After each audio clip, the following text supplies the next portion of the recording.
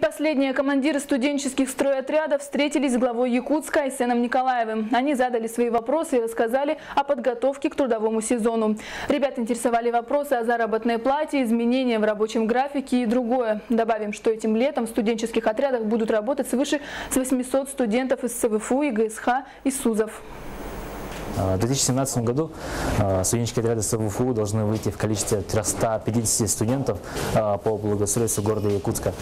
И они приступят на работу с 15 июня. В течение полтора, полутора месяца они будут заниматься именно благоустройством дворовых площадок, в общем, благоустройством округов нашего города Якутска. Также выходят на пригородное население и должны показать ударный труд.